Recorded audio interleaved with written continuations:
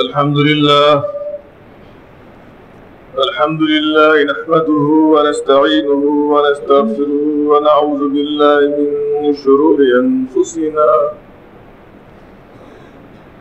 ونعوذ بالله من شرور أنفسنا ومن سيئات أعمالنا. من يهده الله فلا مضل له ومن يضلل فلا هادي له. وأشهد أن لا إله إلا الله وحده لا شريك له وأشهد أن محمدا عبده ورسوله. أما بعد فإن خير الحديث كتاب الله وخير الهدي هدي محمد صلى الله عليه وسلم. وشر الأمور محدثاتها وكل محدثة بدعة وكل بدعة ضلالة وكل ضلالة في النار. فأعوذ بالله السميع العليم من الشيطان الرجيم. بسم الله الرحمن الرحيم. وما آتاكم الرسول فخذوه وما نهاكم عنه فانتهوا واتقوا الله إن الله شديد العقاب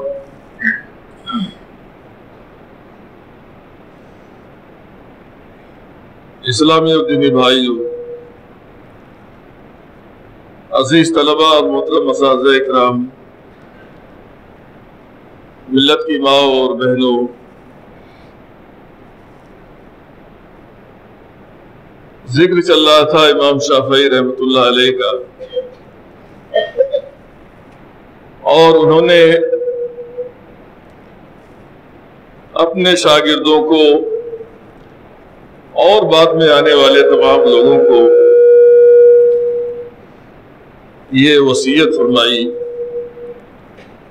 کہ اللہ کے رسول صلی اللہ علیہ وسلم کی صحیح حدیث کے ہوتے ہوئے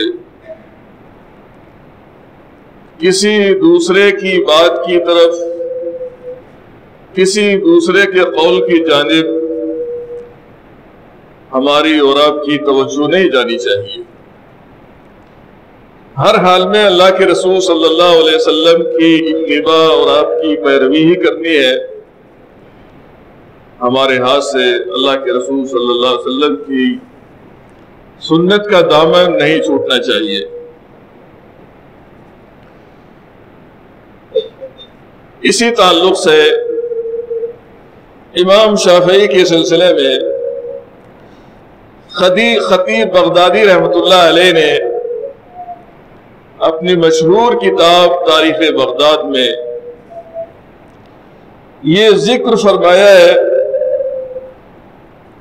کہ امام شافعی رحمت اللہ علیہ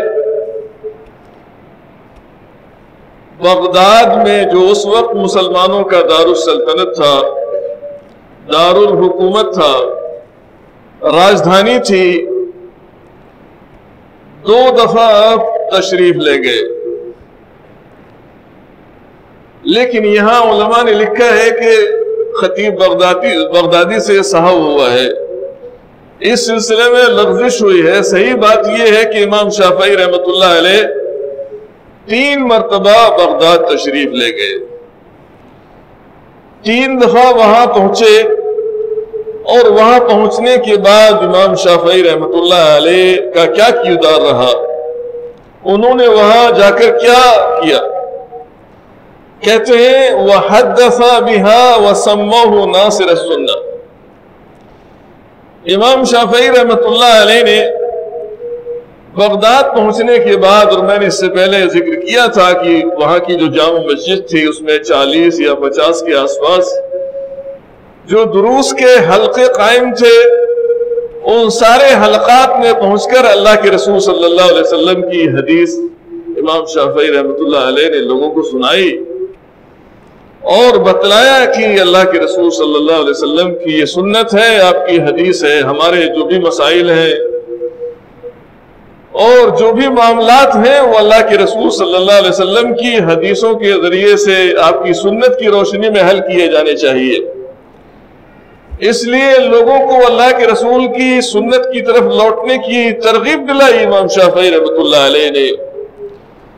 لہذا امام شافعی کے اس عمل سے خوش ہو کر یا احیاء سنت کی وجہ سے اس وقت کے علماء اکرام نے امام شافعی کو یہ لقب عنایت فرمایا۔ خطیب بغدادی کہتے ہیں کہ وہ سمو ہو ناصر سننا امام شافعی رحمت اللہ علیہ کو لقب دیا گیا کہ آپ اللہ کے رسول صلی اللہ علیہ وسلم کی سنت اور آپ کی حدیث کے کا دفاع کرنے والے ہیں۔ اس کی حمایت کرنے والے ہیں۔ اور یہی بات نہیں ہے، بلکہ امام شافعی رحمت اللہ علیہ ذرہ برابر بھی اللہ کے رسول صلی اللہ علیہ وسلم کی کسی حدیث سے، کسی سنت سے اگر وہ صحیح صنعت سے ثابت ہو جائے، تو آپ اس سے منہ موڑنے کے لیے تیار نہیں ہوتے تھے۔ ہر حال میں اللہ کے رسول کی پیروی کو لازم قرار دیتے تھے۔ لہذا اس بات کی شہادت امام صاحب کے ایک بڑے شاگرد ہیں، امام احمد ابن حمل رحمۃ اللہ علیہ۔ ان کے اس سلسلے میں کئی اقوال ہیں۔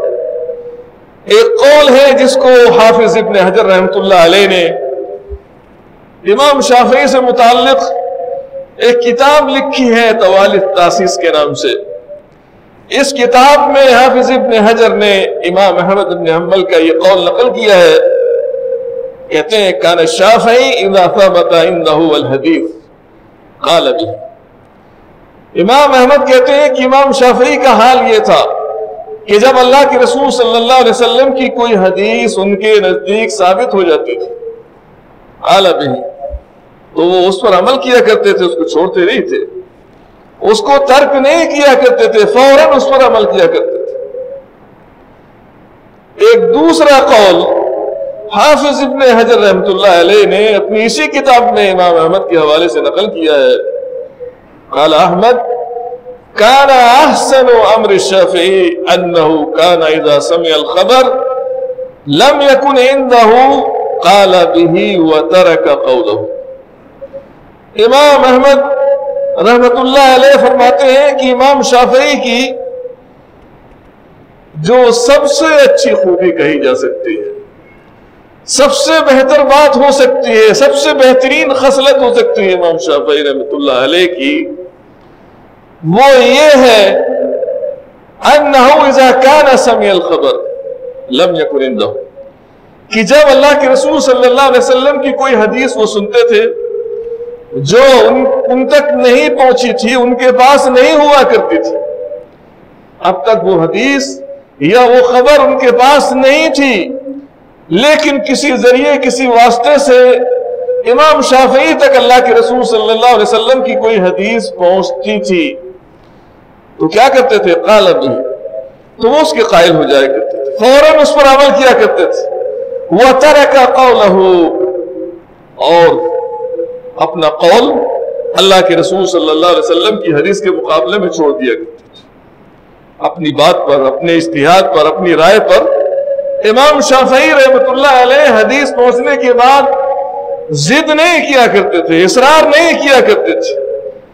یا جیسا کہ میں نے اس سے پہلے ذکر کیا یا اشارات کیے ہیں کہ لوگ حدیث رسول پہنچنے کے بعد بجائے اس کے کہ اپنے امام کے قول کی تعویل کریں۔ لوگ اللہ کے رسول صلی اللہ علیہ وسلم کی حدیث کی تعویل کرنے لگ جاتے ہیں۔ اس کو غلط ٹھہرانے لگ جاتے۔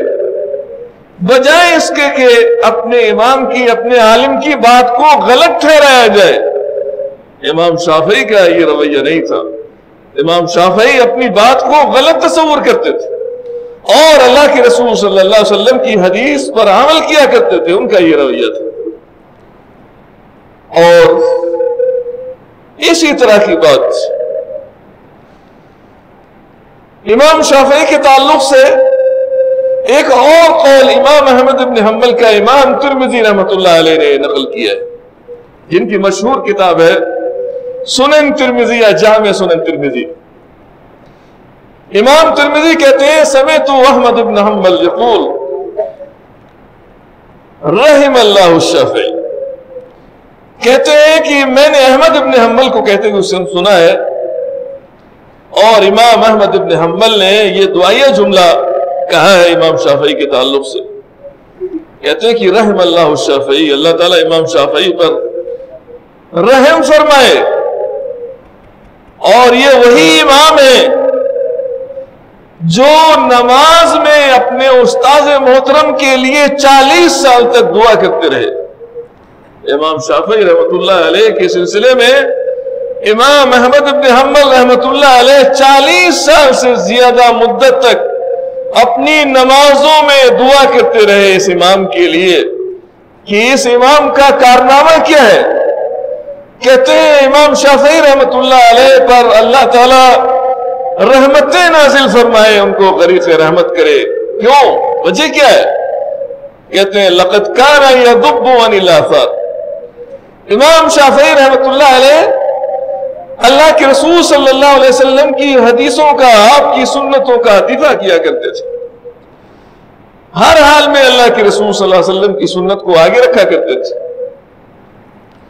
اور یہی امام احمد ہے صاحب ہلیت الاولیاء نے امام احمد کے تعلق سے ایک قول اور نقل کیا ہے۔ کہتے ہیں، امام احمد فرماتے ہیں، ما رائے تو اہدن اتبع للاثر من الشافعی امام احمد رحمت اللہ علیہ کہتے ہیں کہ میں نے امام شافعی سے زیادہ سنت کا پیروکار، سنت کا متبع میں نے کسی کو نہیں دیکھا ہے۔ بہت سارے علماء اس امت میں گزرے ہیں۔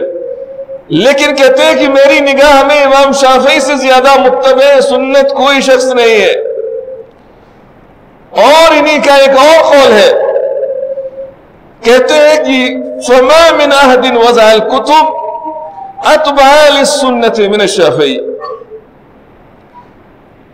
کتابیں تو بہت سارے لوگوں نے لکھی دین اور شریعت کے مسائل بہت سارے لوگوں نے اپنی اپنی کتابوں میں بیان کیے ہیں۔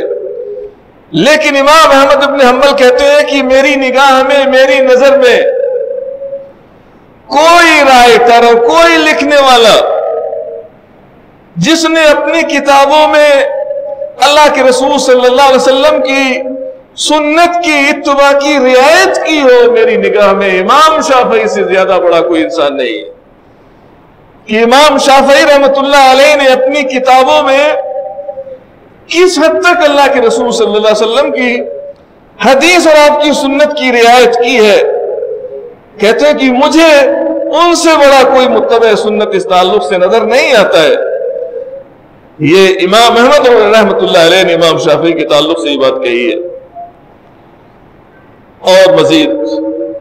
امام شافی رحمت اللہ علیہ کہتے ہیں، لا بد ان تجدوا عني ما يخالف الحديث فَكُلُّ مَا خَالَفَهُ فَأُشْهِدُكُمْ أَنِّي قَدْ رَجَاتُ عَنْهُ امام شافعی رحمت اللہ علیہ کہتے ہیں، لا بد ان تجدو عنی ما يخالف الحدیث۔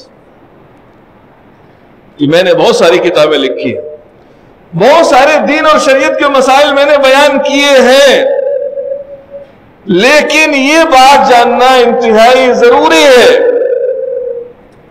کہ مجھ سے کوئی ایسی بات ضرور سرزد ہوئی ہوگی جو اللہ کے رسول کی حدیث کے خلاف ہوگی۔ امام شافعی نے یقین کے ساتھ یہ بات کہی ہے کہ آپ کہیں صبح نہ سمجھ لیں۔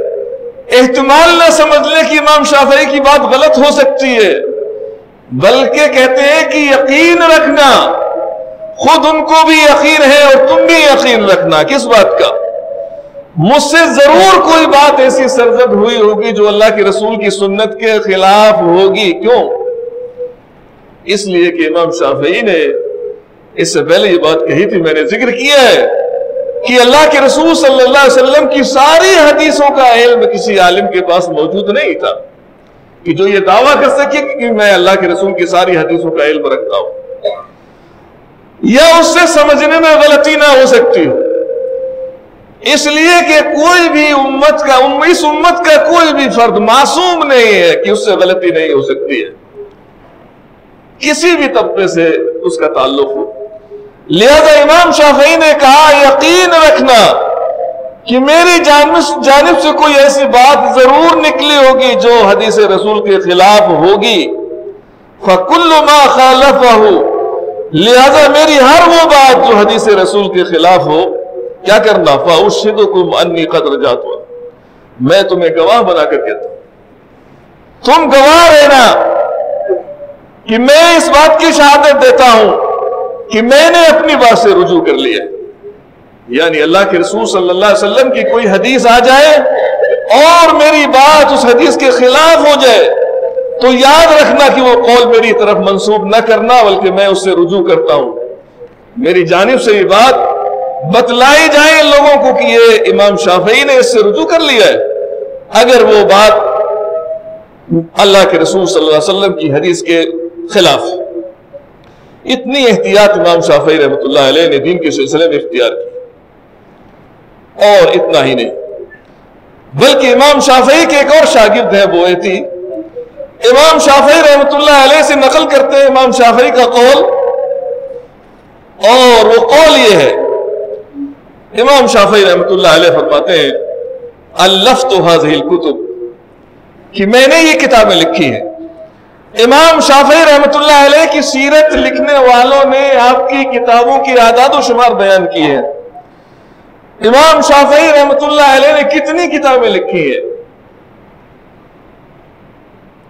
ابن ندیم ایک مولف ہے جو کتابوں کے نام ذکر کرتے ہیں مولفین کے ہاں نام کے ساتھ۔ انہوں نے سو سے زیادہ امام شافعی کی کتابوں کا تذکرہ کیا ہے۔ اور ایک دوسرے اعداد و شمار کے اعتبار سے اور علماء کرام نے امام شافعی کی کتابوں کی تعداد شمار کرائی ہے۔ کتنی تعداد ہے؟ امام شافعی کی کتابوں کی تعداد تقریباً ایک سو چالیس کے آس پاس ہوتی ہے۔ ایک سو چالیس کتابیں اس امام نے لکھی ہیں۔ لہذا کہتے ہیں کہ میں نے جو بھی کتابیں لکھی ہیں، ولم آلو فیہا اور میں نے ان کتابوں کے لکھنے میں اپنی کوئی کسر باقی نہیں رکھی ہے۔ میں نے کوئی کوتا ہی نہیں کی ہے۔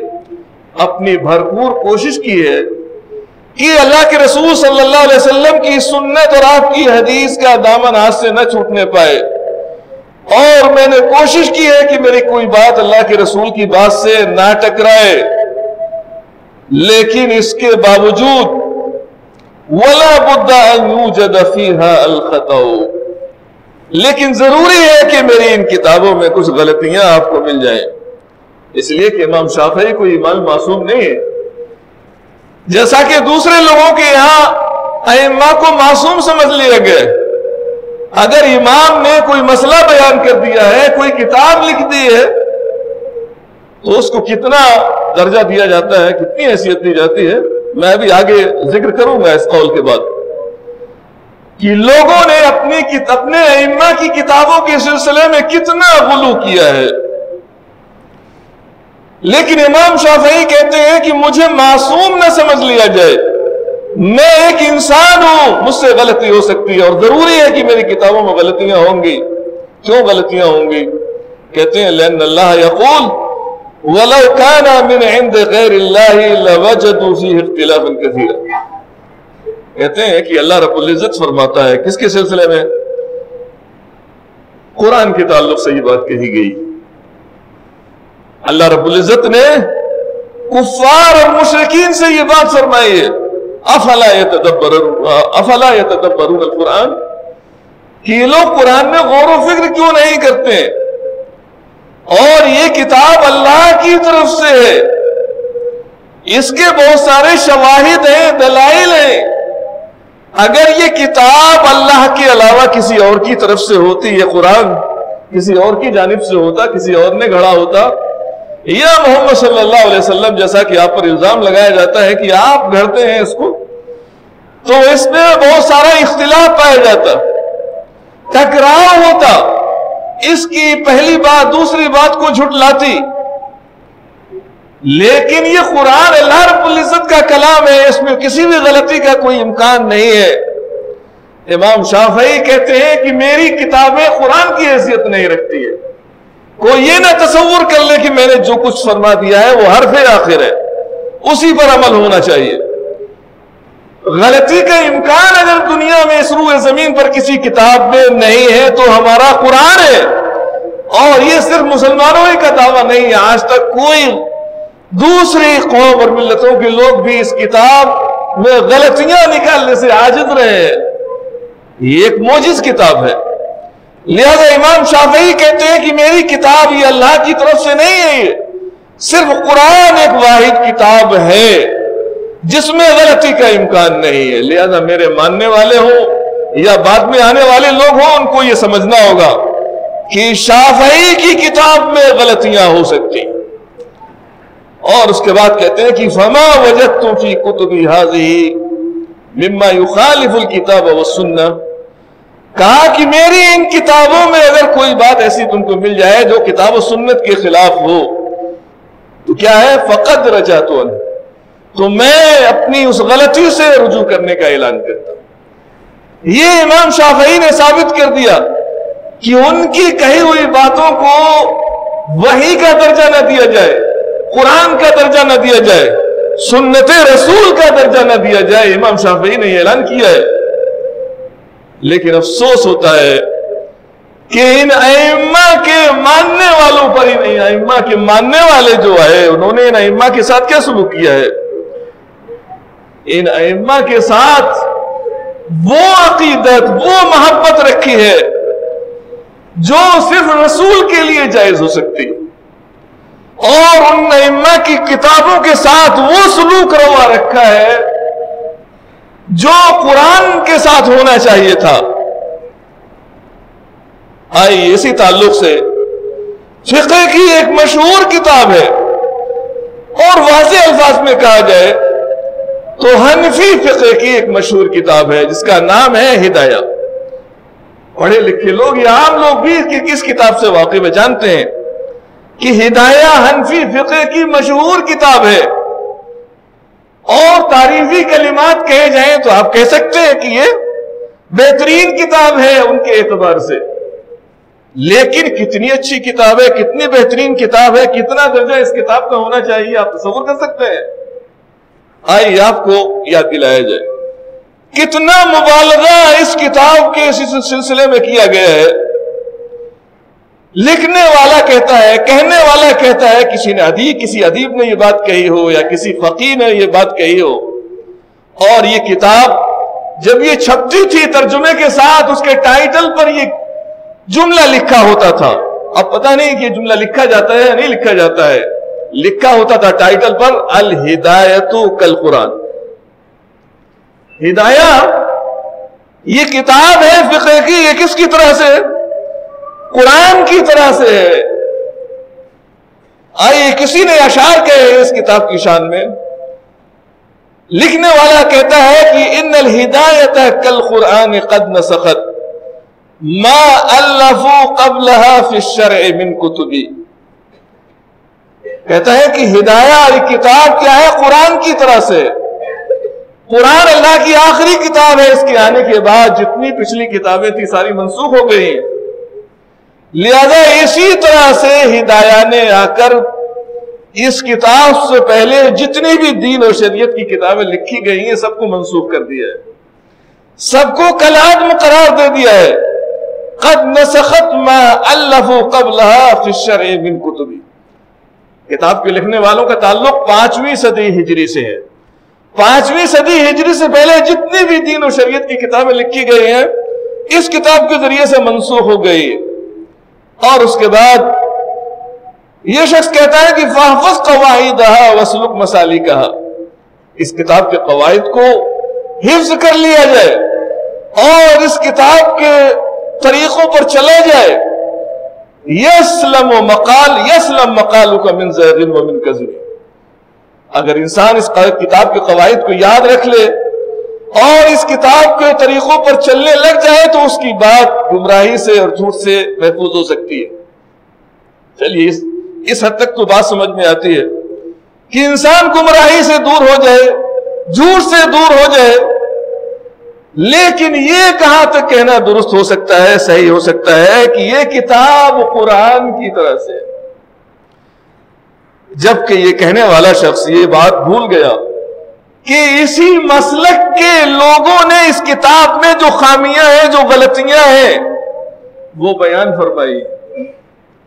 کہ ایک انسان کی کوشش ہے، یہ آسمانی کتاب نہیں ہے، یہ وہی الہی نہیں ہے۔ یہ انسان کی کوشش ہے یہ کتاب۔ لہذا یہ دعویٰ کیسے کیا جا سکتا ہے کہ یہ کتاب قرآن کی مانند ہے، قرآن کی طرح سے؟ کسی بھی اعتبار سے قرآن کی مانند یہ کتاب ہو ہی نہیں سکتی ہے۔ لیکن افسوس اس بات پر ہوتا ہے کہ ائمہ کی عقیدت میں یا ان کی جو لکھی ہوئی کتابیں ہیں، ان کی عقیدت میں اتنا غلو کیا جائے، اتنا غلو کیا جائے کہ ہم قرآن تک کی توہین پر اتر ہے آج ہمیں شکوا ہے، شکایت ہے مسلمانوں کو کہ غیر مسلم لوگ یا دوسری اقوام ہماری آسمانی کتاب کی توہین کرتے ہیں۔ اس کے اوراق پھاڑتے ہیں، جلاتے ہیں۔ اور جس طرح سے بھی ممکن ہے، اس کی توہین کرنے کی کوشش کرتے ہیں۔ سوال یہ ہے کہ یہ کتاب ہدایت اور قرآن دونوں کا کوئی جوڑ ہو سکتا ہے، کوئی میل ہو سکتا ہے؟ قرآن کی یہ اسی طرح اسی طرح کی کتابوں کی مثال دینے کے لیے رہ گئی ہے۔ قرآن یہ امام شافعی کی فکر دیکھیے۔ امام شافعی نے کہا کہ قرآن ایک واحد، اس روح زمین پر ایسی کتاب ہے اس میں کوئی غلطی نہیں ہو سکتی ہے۔ اس کے مثل کوئی کتاب دنیا کی نہیں ہو سکتی ہے۔ کتنا ہی اونچا مقام، اونچا درجہ رکھتی ہو۔ اور ہم طلبہ کو پڑھاتے ہیں اور آپ کو بھی سمجھاتے ہیں کہ قرآن کے بعد سب سے صحیح کتاب، صحیح بخاری، صحیح مسلم ہے۔ لیکن کب کہیں کہ کہی جاتی ہے؟ قرآن کے بعد سب سے صحیح کتاب۔ اس امت کا اتفاق ہے، اجماع ہے۔ صحیح بخاری ہے، صحیح مسلم ہے۔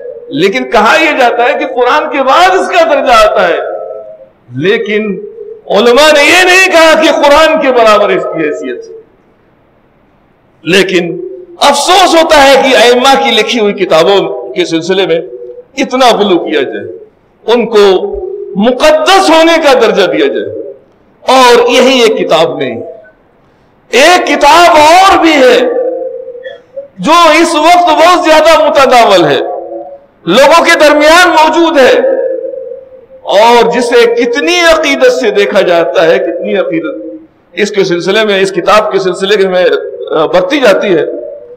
مجھے معتبر ذرائع سے یہ بات معلوم ہوئی بلکہ سوشل میڈیا پر بہت ساری خبریں آج کل عام ہیں، موجود ہے بعض مساجد کے ائمہ کی یہ شکایت۔ ائمہ نے اپنی مسجد میں درس قرآن شروع کیا۔ بعض ائمہ نے اپنی مسجد میں درس حدیث شروع کیا۔ لہذا ان ائمہ کے خلاف سخت ایکشن لیا گیا۔ جنہوں نے درس قرآن مسجد میں شروع کیا ہے، جنہوں نے درس حدیث مسجد میں شروع کیا ہے۔ کیوں ایکشن لیا گیا؟ کسی کو امامت سے ہٹا دیا گیا، کسی کو اور کوئی سزا دی گئی، بہرحال جو بھی ہو۔ ایکشن کیوں لیا گیا؟ کہ نہیں، نہ درس قرآن ہوگا، نہ درس حدیث ہوگی۔ اگر درس ہوگا تو فلاں کتاب کا ہوگا۔ اسی کتاب کو سنا جائے گا اور اسی کتاب کو سنایا جائے گا۔ اس کے علاوہ کوئی دوسری کتاب لوگوں کے ہاتھ میں نظر نہیں آنی چاہیے۔ اب آپ تصور کیجیے کہ اتنا غلو ہو، اتنی انتہا پسندی ہو مسلک کے تعلق سے یا کسی کتاب کے تعلق سے آپ جس کتاب کا درس دیتے ہیں، اس میں نہ جانے کتنی بدعات ہیں، خرافات ہیں، علماء نے نشاندہی کی ہوئی ہے۔ کہ اس کتاب کے اندر بہت ساری بدعات پر مبنی باتیں ہیں۔ بہت ساری گھڑی ہوئی حدیثیں اس کتاب میں موجود ہیں۔ شرک یا حکایات موجود ہیں، جس سے امت میں شرک پنپتا ہے۔ علماء نے نشاندہی کی۔ اور ہم اس کتاب کو کیا سمجھتے ہیں؟ درس قرآن ختم کر دیا اس کی جگہ سے، درس حدیث ختم کر دیا اس کتاب کی وجہ سے۔ اور ہم یہ سمجھتے ہیں کہ نہیں، یہی کتاب کتاب ہدایت۔ اس کے علاوہ اور کہیں ہمیں ہدایت نہیں مل سکتی۔ ہے امام شافعی رحمت اللہ علیہ نے اسی فکر کو دور کرنے کی کوشش کی ہے کہ لوگ میرے بعد میری کتابوں کا مقدس ہونے کا درجہ ان کو نہ دے دے، کہ میری کتابیں قرآن کی طرح سے ہیں، کوئی نہیں کہہ سکتا ہے۔ لیکن افسوس ہوتا ہے کہ ان ائمہ کے ماننے والوں پر جو اتنا غلو اپنے ائمہ کی، اپنے علماء کی ایسی کتابوں کے سلسلے میں، جبکہ ان کے علماء ہی نے ان کتابوں کی غلطیوں کی نشاندہی بھی کی ہے۔ اس کتاب کو کہتے ہیں کہ قرآن کی طرح سے، بتائیے قرآن کی طرح سے وہ کتاب کیسے ہو سکتی ہے؟ یہ امام شافعی رحمۃ اللہ علیہ کا نقطۂ نظر تھا۔ ایک اور بات امام شافعی کے تعلق سے مشہور امام اسحاق ابن راہوے اور ان کو شیخ المشرق کا خطاب دیا گیا، سید الحفاظ کا خطاب دیا گیا۔ فقہ اور حدیث کے بہت بڑے عالم ہیں۔ اسحاق ابن راہوے، ان کے والد کو لقب دیا گیا راہوے کا، کہتے ہیں کہ اس کی وجہ یہ ہے کہ چونکہ ان کے والد کی ولادت ان کی پیدائش راستے میں ہوئی، مکہ آ رہے تھے۔ لہذا ان کے والد کو یہ لقب دیا گیا۔ ہے بڑے عالم ہے امام شافعی رحمت اللہ علیہ کی خدمت میں ان کو بلایا تھا۔ کس نے؟ امام احمد ابن حمد رحمت اللہ علیہ نے۔